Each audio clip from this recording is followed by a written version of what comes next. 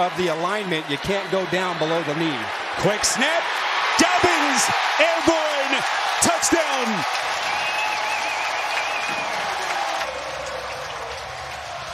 Uh, Duvernay, Charlie Kolar, the tight end, leading the way, and uh, really just a good job. And, and really, that drive started with the explosive.